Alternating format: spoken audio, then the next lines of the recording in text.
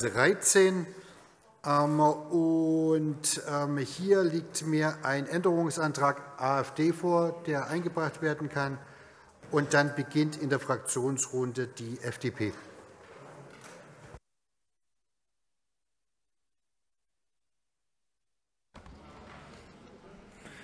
Ja, sehr geehrter Oberbürgermeister, sehr geehrte Stadträte, liebe Zuschauer! Was wir heute mit der Änderung dieser Mietspiegelsatzung hier beschließen sollen, ist ein Skandal.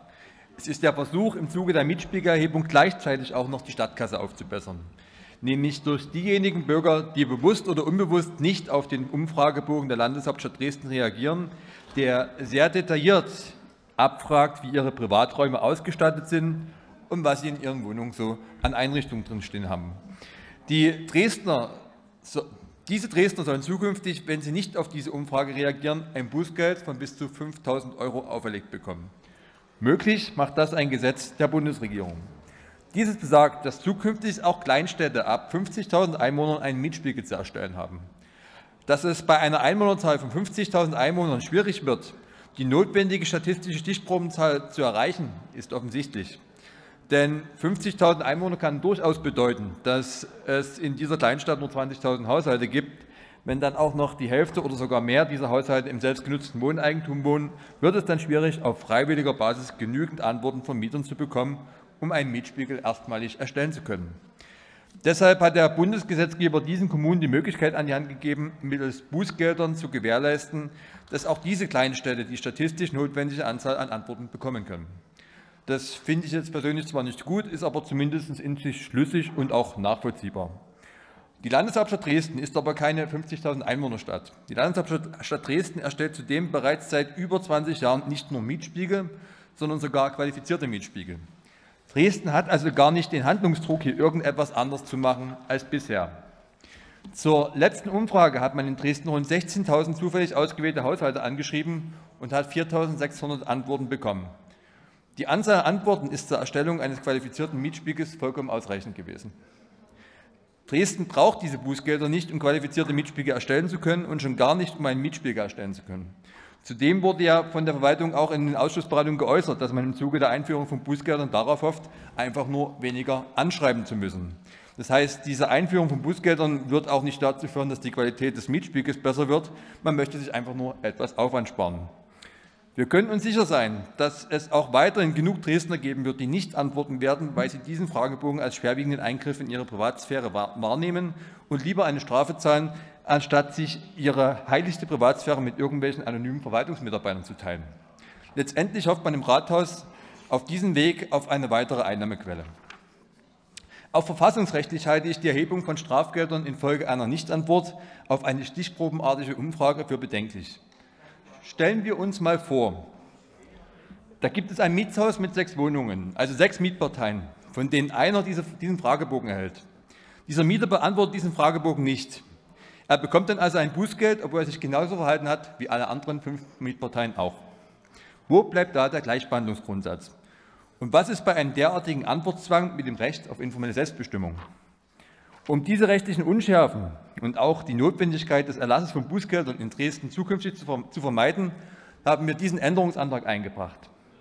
Paragraph 238 des EBGB sagt, wenn Vermieter oder Mieter nicht auf den Fragebogen zur Erstellung eines qualifizierten Mietspiegels antworten, sind diese mit einem Bußgeld zu belegen. Für die Erstellung eines einfachen Mietspiegels gibt es diese Bußgeldpflicht nicht. Ob ein Mietspiegel aber am Ende ein einfacher oder ein qualifizierter Mietspiegel ist, ist einzig und allein von der Anzahl der Antworten abhängig. Es ist nicht abhängig von der Begriffsdefinition der Satzung. Die Idee des Antrags ist es deshalb, den Begriff qualifiziert aus der Satzung zu streichen, um so die Notwendigkeit von Bußgeldern zu vermeiden bzw. zu umgehen. Darüber hinaus führt die Stadtverwaltung auch weiterhin die Umfragen durch, wie es bisher der Fall war, und erhält auch auf Grundlage der Antworten die benötigte Datenmenge, um einen qualifizierten Mietspiegel auch weiterhin erstellen zu können, wie es bereits seit 20 Jahren der Fall ist. Der Stadtrat steht jetzt hier also vor der Wahl, der Verwaltungsvorlage unverändert zuzustimmen und damit die Dresdner Bürger immer stärker zu belasten und in die, und in die Privatsphäre hunderttausender Menschen in Dresden einzugreifen oder aber unserem Änderungsantrag zuzustimmen und damit den Dresdnern die Freiheit zu lassen, selbst zu entscheiden, welche Daten sie von sich preisgeben wollen und welche nicht. Ich bitte um Zustimmung. Vielen Dank. Dann beginnen wir jetzt mit der Fraktionsrunde. Herr Blödner, und dann wäre in der nächsten Reihenfolge nochmal AfD dran, falls gewünscht. Meister, liebe Kolleginnen und Kollegen, äh, Erlass der Satzung der Landeshauptstadt zur Durchführung einer Kommunalstatistik zwecks qualifizierten Mietspiegel. Kurz vorneweg, wir lehnen die Satzung ab. Der Entwurf ist mal wieder ein Beispiel, warum die Landeshauptstadt scheinbar zu viele Mitarbeiter hat, denen offensichtlich zu viel Arbeitszeit zur Verfügung steht, um unsinniges Papier zu produzieren. Warum? Es ist alles dazu im Bundesgesetz geregelt. In anderen Bundesländern haben die Kommunen in der Regel gar keine Satzung zum Mietspiegel. In Sachsen gibt es wohl diese Satzung, weil wohl die sächsische Datenschutzbeauftragte darauf besteht, dass äh, zumindest in Satzungen festgelegt werden, dass ein qualifizierter Mietspiegel erstellt wird. Im Ausschuss hatte ich dann nachgefragt, ob nicht dann der Einzeiler ausreichen würde, die Stadt Dresden erstellt einen qualifizierten Mietspiegel. Punkt. Die Antwort, hm, hätte man machen können. Stattdessen haben wir jetzt hier wieder drei Seiten vorliegen, die alles unnötige Diskussionen verursachen, alles klein, klein regeln, obwohl wir ein Bundesgesetz haben, an das wir uns zu halten haben. Es wäre schön, wenn man da verwaltungsseitig zukünftig mal darauf achten würde, dass wir nur die Sachen machen, die notwendig sind. Das erspart uns hier jede Menge Arbeit. Deswegen würden wir das hier an der Stelle so ablehnen. Dankeschön. Dann wäre als nächstes AfD-Fraktion. AfD nochmal? Dann machen wir weiter. Grünen-Fraktion? Nicht. Doch, Herr Löser, bitte. Ich würde nur kurz von hier was sagen. Ich würde die Verwaltung einmal bitten, zu erklären, warum man diesen qualifizierten Mietspiegel braucht. Denn es ist ja ganz entscheidend, dass man diesen hat. Also ich sage es jetzt selber, aber bitte darum, das nochmal auch von Verwaltungsseite darzustellen, um eine Mietpreisbremse zum Beispiel einzuführen. Und die AfD hat ja hier im Vorfeld versucht, gehörig Stimmung zu machen in dieser Stadt und auch dieses wichtige Instrument des Mietspiegels zu diskreditieren, indem sie also fingierte Briefe rumgeschickt hat mit der Aufforderung, Mietspiegel ähm, hier sozusagen vorzulegen oder zurückzuschicken und ansonsten eben viel, viel Strafe zu zahlen. Und wir haben im Ausschuss das ja auch schon diskutiert. Und auch da bitte ich die Verwaltung mal darzustellen, ob denn dieser sehr hohe Betrag, den der Bund hier vorschreibt, überhaupt in Betrachtung käme, und äh, es wird dann sicher die Antwort sein, das ist nicht so. Und ich will ganz klar sagen, die AfD benutzt dieses Instrument, um hier Stimmung zu machen gegen dieses wichtige mietenpolitische Vergleichsinstrument. Und das passt zu ihrer ganzen asozialen Haltung, was den sozialen Wohnungsbau insgesamt angeht. Okay, würden wir dann zum Abschluss vor der Abstimmung machen, dass Frau Dr. Kaufmann da noch mal die äh, Stellungnahme der Verwaltung bringt. Jetzt machen wir weiter CDU-Fraktion. Herr Dr. Braunswiller.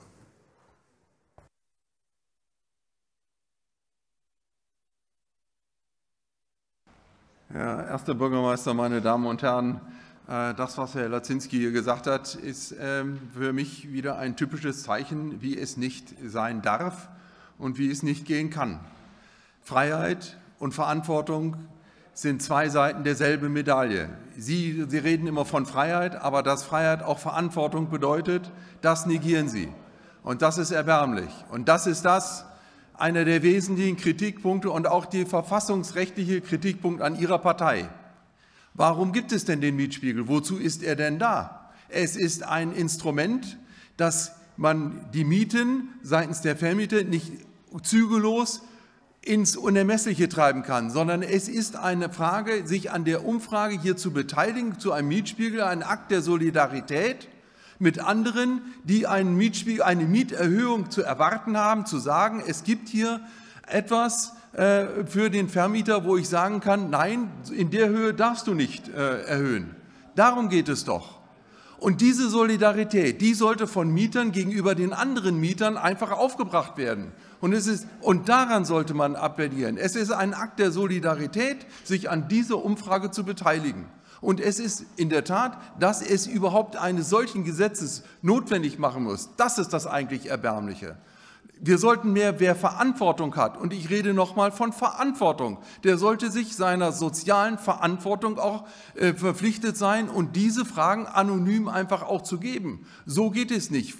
Ohne Freiheit, ohne Verantwortung gibt es nicht. Und solange sie das nicht begreifen, sind sie eine verfassungsfeindliche Partei und gehören zu Recht beobachtet und nicht nur das. Vielen Dank. So.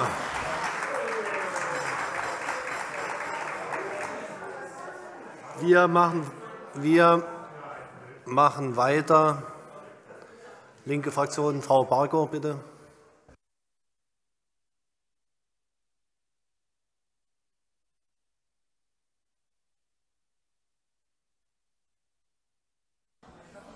Sehr geehrter Herr Erster Bürgermeister, sehr geehrte Damen und Herren, zunächst einmal zum Mietspiegel allgemein. Mietspiegel ist ein äh, Instrument aus der Wohnungspolitik und es ist ein Instrument, es ist Fluch und Segen zugleich. Fluch ist der Mietspiegel, weil er das häufigste Instrument ist für Mieterhöhungen.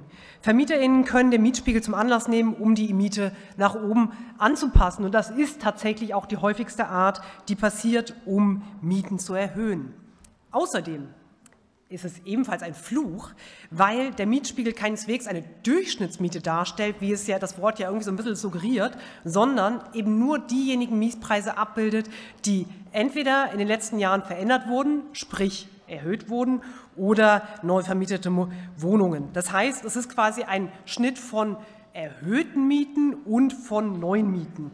Die ganzen Bestandsmieten, die in aller Regel deutlich niedriger sind, die werden hier nicht mit einberechnet. Und deswegen ist der Mietspiegel insgesamt auch immer oberhalb der Durchschnittsmieten. Deswegen ist es ja auch oft ein Instrument, um eben Mieten nach oben zu erhöhen. Ähm, Dennoch ist es auch ein Segen, denn der Mietspiegel ist genauso notwendig für die Mieterinnen, dass sie nämlich einschätzen können, erstens, ob die angebotene Miete in Ordnung ist von einer neuen Wohnung oder ähm, ob auch eine Erhöhung angemessen ist oder nicht. Gäbe es nämlich keine Mietspiegel, dann müssten die Mieterinnen selber drei Vergleichswohnungen auftreiben, was immer äußerst schwierig ist. Das heißt, die Mieterinnen hätten eine deutlich größere äh, ja, Aufgabe, eben ein Mieterhöhungsverlangen abzuwenden. Es ist deutlich komplizierter und die meisten würden sich das wahrscheinlich auch gar nicht trauen. Es ist auch ein langwieriger Prozess. Das heißt, insgesamt, ähm, ja, braucht man einen Mietspiegel, weil er gibt einfach Sicherheit, vor allen Dingen Mieterinnen. Ähm, trotzdem, ich hatte es benannt, ist es insgesamt ein Instrument, was ganz grundlegend äh, reformbedürftig wäre. Denn es bräuchte endlich mal eine Änderung auf Bundesebene, dass, also zum Schutz der Mieterinnen an der Stelle vor allen Dingen, dass eben nicht nur die in den letzten Jahren erhöhten Mieten einfließen, sondern dass man einfach Durchschnittsmieten nimmt. Ja, die gesetzliche Änderung, die jetzt stattgefunden hat, ähm, hatte, hat verschiedene Folgen, die für Dresden äh, eigentlich vor allen Dingen in dem Bereich ähm, ja, des, der Mitteilungspflicht relevant sind. Die äh, Stadt Dresden hat mittlerweile den 13. Mietspiegel rausgebracht. Alle zwei Jahre wird der Mietspiegel fortgeschrieben bzw. erneuert. Das heißt, wir machen das sowieso schon. Kleinere Städte müssen mit dieser Gesetzesänderung, die gekommen ist, einen Mietspiegel erstellen. Aber ähm, die Auskunftspflicht, das wurde schon angesprochen, die wurde jetzt eingeführt. Ähm, bis dato wurden die Haushalte befragt und konnten dann selber entscheiden, ob sie antworten oder nicht. In den letzten Jahren, wie gesagt, den 13. Mietspiegel haben wir schon, haben stets ausreichend Haushalte mitgemacht. Das heißt, es ist überhaupt nicht notwendig, jetzt hier eine Verpflichtung äh, einzuführen. In der Satzung ähm, ist entsprechend der bundesgesetzlichen Vorgabe auch ein Bußgeld äh, verhängt, das dass man reinschreiben muss, weil wenn es die gesetzliche Pflicht gibt, ist zwingend auch dann in solchen Satzungen eben ein Bußgeld zu verorten.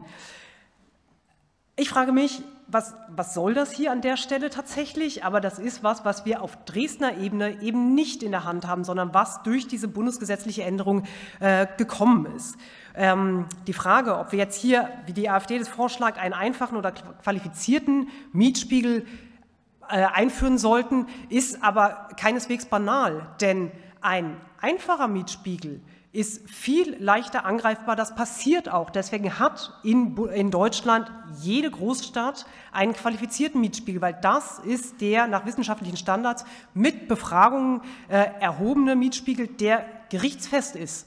Wenn man so einen qualifizierten Mietspiegel nicht hat, dann ist die Gefahr groß und das zeigt auch die Realität, genau das passiert ja auch, dass eben dann in der Regel von Vermieterinnenseite aus gegen, äh, dagegen geklagt wird und dann, am Ende dann letztendlich gar nichts gilt und die, die ähm, im Regen stehen, sind in aller Regel dann die Mieterinnen.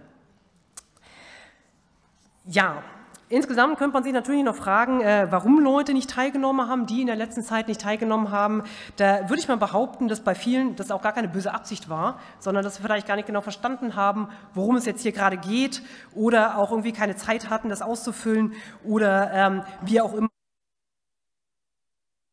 Da wäre hier aus unseren Augen eine Aufklärungskampagne viel sinnvoller, als bundesgesetzlich vorzuschreiben, dass es eine Auskunftspflicht gibt, die dann auch ein Bußgeld nach sich zieht. Aber wie gesagt, das ist keine Entscheidung in Dresden, sondern die wurde eben mit dem neuen Gesetz getroffen. Wir werden der Satzung zustimmen, denn ich hatte es ausgeführt, Mitspiegel zu haben, ist besser als keinen zu haben.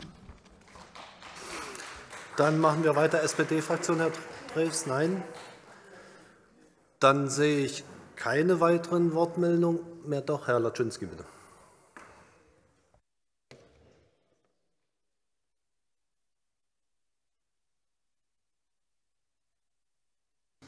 Ja, sehr geehrter erster Bürgermeister, angesichts der hier getätigten Aussagen möchte ich doch noch einmal äh, das richtigstellen, was wir mit unserem Antrag hier bezwecken. Es ist in keinster Weise so, dass wir in irgendeiner Form den Mietspiegel in Frage stellen. Äh, den Mietspiegel gibt es die ganze Zeit schon in Dresden und wir wollen, dass es ihn auch weiterhin gibt, wie es ihn bisher gab. Wir haben in Dresden einen qualifizierten Miet Mietspiegel und das einzige Maßgabe für diesen qualifizierten Mietspiegel ist, dass es genügend Rückläufer gibt. Wir haben auch in Dresden genügend Haushalte, die angeschrieben werden können, dass auch genügend, genügend Rückläufer zustande kommen. Was wir natürlich äh, hier vermeiden wollen, ist, dass äh, sich die Stadt Aufwand spart, indem sie weniger Anfragen rausschickt und dann aber durch Zwang dafür sorgt, dass die, die angeschrieben werden, in jedem Fall auch antworten müssen. Denn das hat nichts mit Solidarität zu tun. Solidarität ist immer freiwillig, äh, was für seine Gesellschaft beiträgt. Solidarität, das, was Sie hier benennen, Herr Dr. Brauns, ist Bußgeld bewährte Solidarität, das ist Zwang.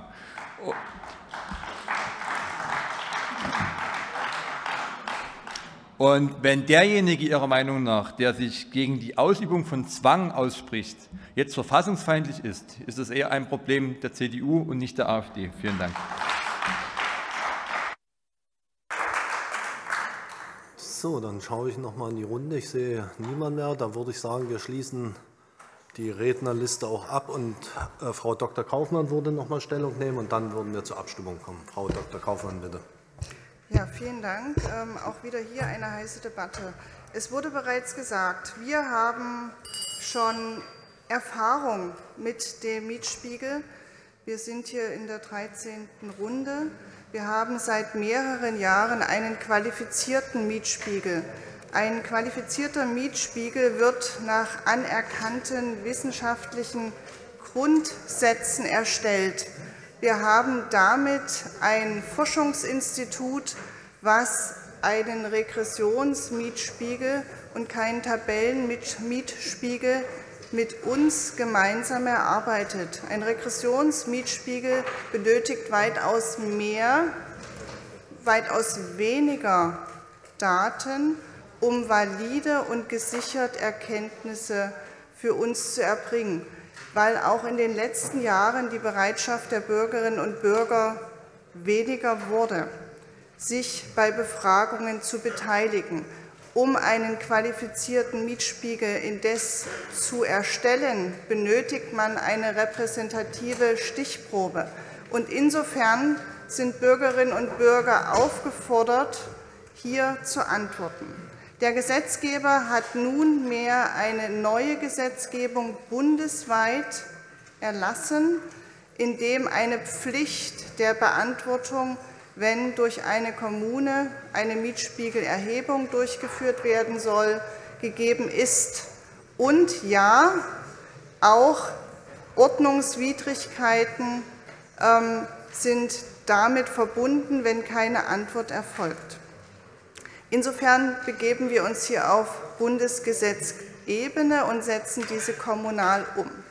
Der qualifizierte Mietspiegel ist für uns wichtig, auch das wurde schon gesagt, weil er eben verlässlich die Mieten spiegelt und von Partnern anerkannt wird, die da heißen Haus und Grund, Mieterverein, Genossenschaften, große Wohnungsunternehmen wie die Vonovia, sodass also hier eine Rechtssicherheit gegeben ist, die es uns ermöglicht, so wenig als möglich Rechtsstreitigkeiten in der Stadt zu haben. Das ist ein Wert an sich. Insofern erheben wir alle zwei Jahre den Mietspiegel. Und dieser Bestand ist auch für uns wichtig, um valide Daten zu haben, wie sich die Preisentwicklung, die Mietentwicklung in der Stadt gestaltet, um Knappheitstendenzen ableiten zu können, um auch schlussendlich die Kosten der Unterkunft gemeinsam dann später mit der kommunalen Bürgerumfrage zu ermöglichen. Insofern, auch wenn hier lokal Änderungen und Streichungen von Paragraphen des Bundesgesetzes vorgenommen werden, arbeiten wir hier mit einer Pflicht nach Weisungsaufgabe und werden es dennoch durchsetzen. Die konkrete Frage von Ihnen, Kollege Löser, ähm, werden wir 5.000 Euro einnehmen und zurück auf Losgehen und unser Säckel in der Stadt füllen? Natürlich werden wir das nicht. Das muss Ihnen, das ist uns klar. Aber es ist ein Bis zu. Wir haben Bürgerinnen und Bürger angeschrieben. Es gibt auch erste Rückmeldungen. Bürgerinnen, die sich melden, weil sie zu alt sind, weil sie überfordert sind, weil sie die Sprache nicht sprechen. Das ist ein Grund, weswegen man sich nicht bei der Befragung beteiligen muss.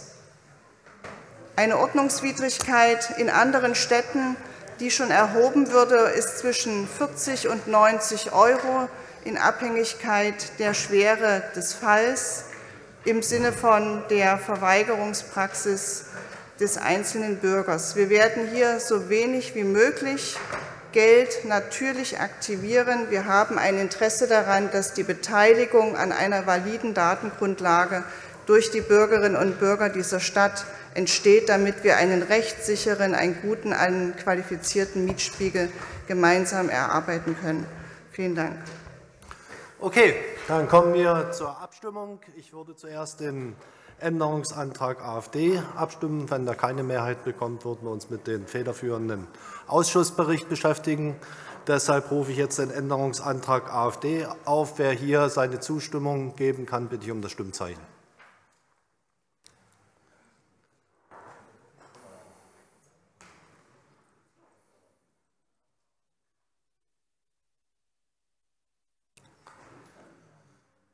Der hat mit 13 Ja, 52 Nein, 0 Enthaltungen keine Mehrheit gefunden. und Deswegen rufe ich jetzt den federführenden Ausschussbericht auf. Wer hier seine Zustimmung geben kann, bitte ich um das Stimmzeichen.